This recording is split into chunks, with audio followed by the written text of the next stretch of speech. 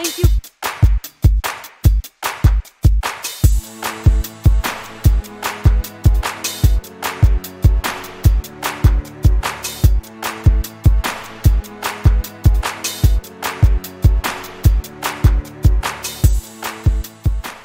Hey, welcome to Anita Life.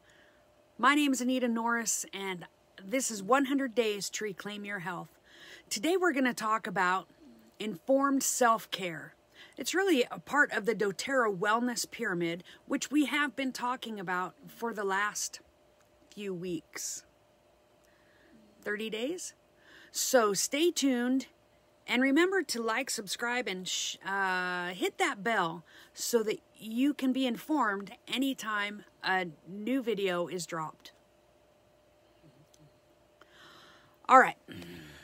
Um, informed self care refers to making the conscious choices regarding our health and well being based on reliable information, research, and professional advice. It involves actively seeking knowledge about our bodies, lifestyle, and the products or practices we use to support our wellness journey. And there are benefits of informed self care. First of all, empowerment, because it empowers us to take control of our health and make educated decisions that align with our unique needs. It also is a holistic approach because it considers various aspects of our well being, including our physical, mental, emotional, and spiritual dimensions.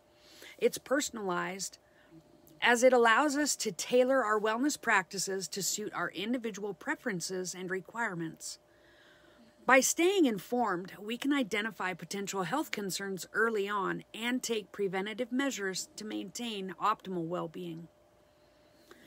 The doTERRA Wellness Pyramid is a framework that guides individuals in achieving holistic wellness through a balanced approach.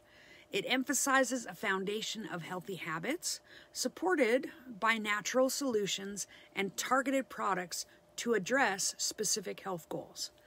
The foundation of the pyramid is based on adopting healthy lifestyle practices, which we have talked about extensively over the past 30 days.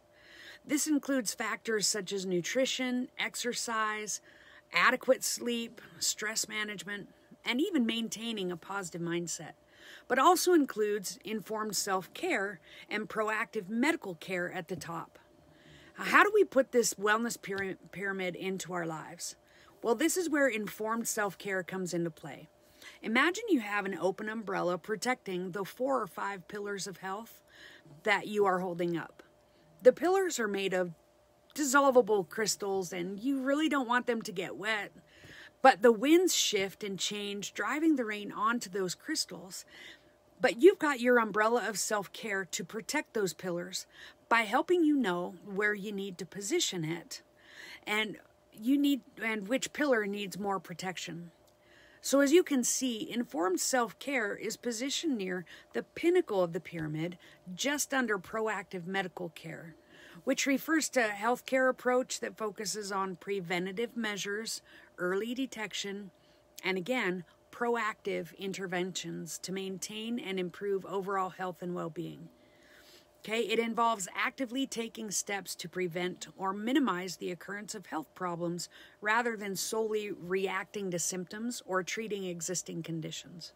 Okay, but let's go back to the benefits of uh, how, how self care is positioned right underneath that proactive medical care. Okay, because that gives you the opportunity um, and underscores the, uh, the importance of conscious decision making and empowered choices.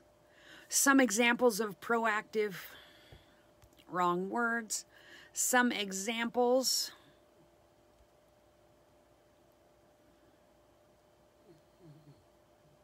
Of informed self care. What are some examples of informed self care? Well, I'm getting there. Uh, here we go. Adding LLV, uh, adding in LLV for your supplement needs, or using essential oils to clean or help with your emotions. It's choosing to exercise and move your body to keep the joints loose and limber. It's learning what nutrition style works best for your body. It's choosing to use cleaning products or self care products that don't add to your toxic load, as uh, is also a part of informed self care.